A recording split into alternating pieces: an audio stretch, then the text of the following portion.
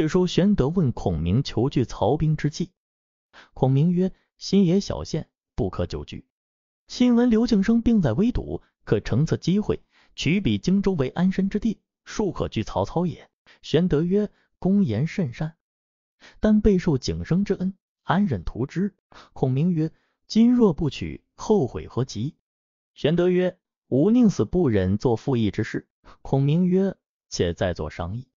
却说夏侯惇败回许昌，自复见曹操，伏地请死。操视之，敦曰：敦遭诸葛亮诡计，用火攻破我军。操曰：汝自幼用兵，岂不知狭处须防火攻？敦曰：李典、于禁曾言及此，悔之不及。操乃赏二人。敦曰：刘备如此猖獗，真负心之患也，不可不及处。操曰：吾所虑者，刘备。孙权耳，余皆不足介意。今当乘此时扫平江南，便传令起大兵五十万，令曹仁、曹洪为第一队，张辽、张合为第二队，夏侯渊、夏侯惇为第三队，于禁、李典为第四队，操自领诸将为第五队，每队各引兵十万。又令许褚为折冲将军，引兵三千为先锋。选定建安十三年秋七月丙午日出师。大中大夫孔融谏曰：“刘备、刘表皆汉室宗亲，不可轻伐。孙权虎踞六郡，且有大将之险，亦不宜去。今丞相兴此无义之师，恐失天下之望。”操怒曰：“刘备、刘表、孙权皆逆命之臣，岂容不讨？”遂斥退孔融，下令：“如有再见者，必斩。”孔融出府，仰天叹曰：“以智不仁，伐智人。”安得不败乎？时御史大夫西律加克闻此言，报之西律。律常被孔融侮慢，心正恨之，乃以此言入告曹操，且曰：融平日每每辖我丞相，又与你恒相善。恒赞融曰：仲尼不死。融赞恒曰：颜回复生，向者你恒之辱丞相，乃融使之也。操大怒，遂命廷尉捕捉孔融。融有二子，年尚幼。十方在家对坐一起，左右急报曰：“尊君被廷尉执去，将斩矣。”二公子何不急避？二子曰：“破朝之下，安有完卵乎？”言未已，廷尉又止，尽收荣家小病二子，皆斩之。后令荣师于市，惊召之媳伏尸而哭。操闻之大怒，欲杀之。荀彧曰：“欲闻之媳常见荣曰：‘公刚直太过。’”乃取货之道。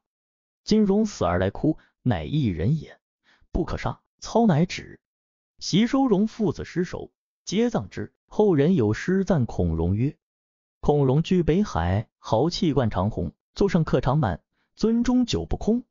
文章经世俗，谈笑武王宫。十笔包中直，存关键大众。曹操既杀孔融，传令五队军马次第起行，只留荀彧等守许昌。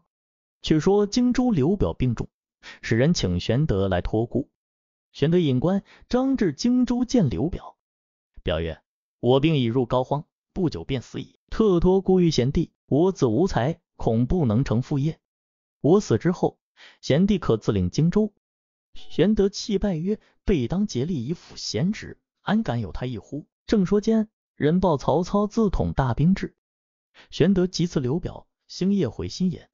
刘表病中闻此信，吃惊不小，商议写遗嘱，令玄德辅佐长子刘琦为荆州之主。蔡夫人闻之大怒，关上内门，使蔡瑁、张允二人把住外门。时刘琦在江夏，知父病危，来至荆州探病。方到外门，蔡瑁当住曰：“公子奉父命镇守江夏，其任至重，今擅离职守，倘东吴兵至，如之奈何？若入见主公。”主公必生嗔怒，并将转增，非孝也。一速回，刘琦立于门外，大哭一场，上马仍回江夏。刘表病是危笃，望刘琦不来。至八月戊申日，大叫数声而死。后人有诗叹刘表曰：“昔闻袁氏居河朔，又见刘军霸汉阳。总为聘臣至家累，可怜不久尽消亡。”刘表既死，蔡夫人与蔡瑁、张允商议，假写遗嘱。令次子刘琮为荆州之主，然后举哀报丧。时刘琮年方十四岁，颇聪明，乃聚众言曰：“吾父弃世，吾兄现在江夏，更有叔父玄德在新野。汝等立我为主，倘兄与叔兴兵问罪，如何解释？”众官未及对，目官李归答曰：“公子之言甚善，今可即发哀书至江夏，请大公子为荆州之主，就命玄德一同理事。北可以敌曹操，南可以拒孙权，此万全之策也。”蔡瑁叱曰：“汝何人？敢乱言以逆主公一命？”李逵大骂曰：“汝内外彭某，假称一命，废长立幼，眼见荆襄九郡送于蔡氏之手，故主有灵，必当及汝。”蔡瑁大怒，喝令左右推出斩之。李逵至死大骂不绝。于是蔡瑁遂立刘琮为主。蔡氏宗族分领荆州之兵，命至中邓毅别驾刘先守荆州。蔡夫人自与刘琮前赴襄阳驻扎，以防刘琦、刘备。就葬刘表之官于襄阳城东汉阳之原，竟不复告刘琦与玄德。刘琮至襄阳，方才卸马，忽报曹操引大军竟往襄阳而来。从大惊，遂请蒯越、蔡瑁等商议。东曹愿复训进言曰：“不特曹操兵来为可忧。今大公子在江夏，玄德在新野，我皆未往报丧。”若必兴兵问罪，荆襄危矣。训有一计，可使荆襄之民安如泰山，又可保全主公名爵。从曰：即将安出？训曰：不如将荆襄九郡献与曹操，操必重待主公也。从叱曰：是何言也？孤受先君之基业，坐上未稳，即可便弃之他人。蒯越曰：复公弟之言是也。夫逆顺有大体。强衰有定势，今曹操南征北讨，以朝廷为名，主公惧之，其名不顺。且主公心力，外患未宁，内忧将作。今襄之民闻曹兵至，未战而胆先寒，安能与之敌哉？从曰：诸公善言，非我不从，但以先君之业，一旦弃与他人，恐贻笑于天下耳。言未已，一人昂然而进曰：复公平。快异度之言甚善，何不从之？众视之，乃山阳高平人，姓王，名粲，字仲宣。粲容貌瘦弱，身材短小。幼时往见中郎蔡邕，时拥高朋满座，闻粲至，道履迎之。宾客皆惊曰：“蔡中郎何独敬此小子耶？”邕曰：“此子有异才，无不如也。”粲博闻强记，人皆不及，常观道旁碑文一过，便能记诵。官人一齐，棋局乱，灿复为百出，不差一字。又善算术，其问辞妙绝一时。年十七，辟为黄门侍郎，不就。后因避乱至京襄，刘表以为上宾。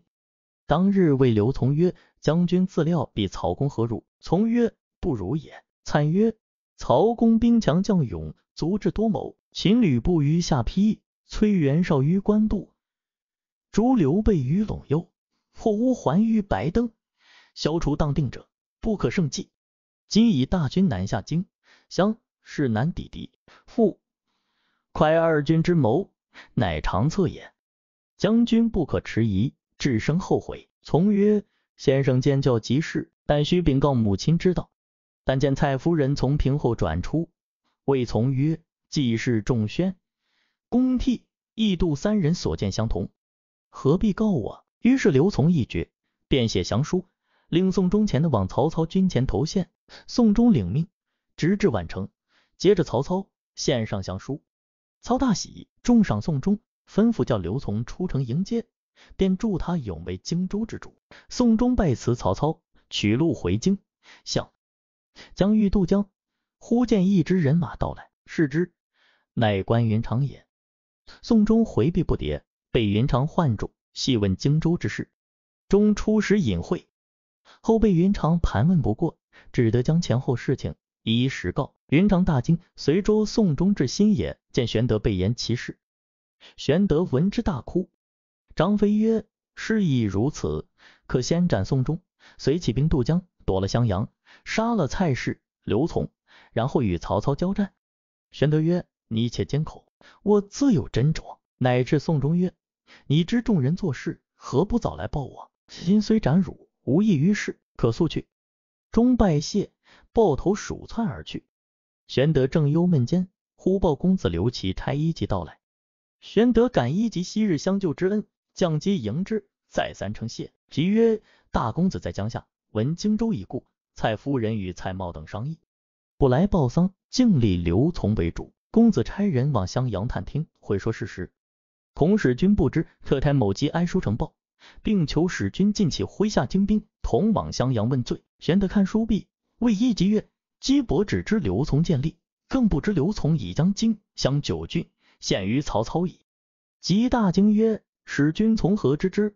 玄德具言拿获宋中之事。姬曰：“若如此，使君不如以吊丧为命，前赴襄阳，又刘琮出营，就便擒下，诛其党类，则荆州属使君矣。”孔明曰：“姬伯之言是也，主公可从之。”玄德垂泪曰。吾兄临危托孤于我，今若执其子而夺其地，翌日死于九泉之下，何面目复见吾兄乎？孔明曰：如不行此事，今曹兵已至宛城，何以拒敌？玄德曰：不如走樊城以避之。正商议间，探马飞报曹兵已到博望了。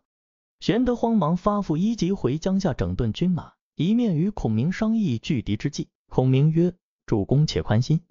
前番一把火烧了夏侯惇大半人马，今番曹军又来，必教他中这条计。我等在新野住不得了，不如早到樊城去。便差人四门张榜，小谕居民，无问老幼男女，愿从者，即于今日皆跟我往樊城暂避，不可自误。差孙干往河边调拨船只，救济百姓。差糜竺护送各官家眷到樊城，一面据诸将听令，先叫云畅。引一千军去白河上流头埋伏，各带布袋多装沙土，扼住白河之水。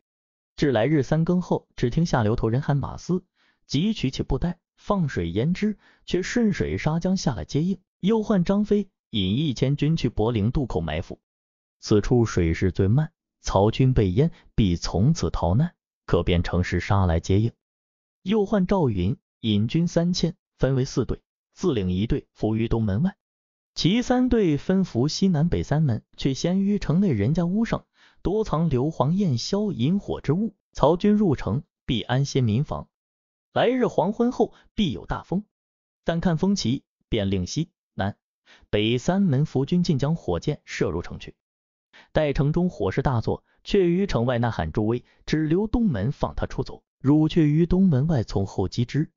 天明会合关，张二将收军回樊城。再令糜芳、刘封二人带二千军，一半红旗，一半青旗，去新野城外三十里却尾坡前屯住。一见曹军到，红旗军走在左，青旗军走在右，他心疑必不敢追。汝二人却去分头埋伏，指望城中火起，便可追杀败兵，然后却来白河上流头接应。孔明分拨已定，乃与玄德登高瞭望，之后结因。却说曹仁。曹洪引军十万为前队，前面已有许褚引三千铁甲军开路，浩浩荡荡杀奔新野来。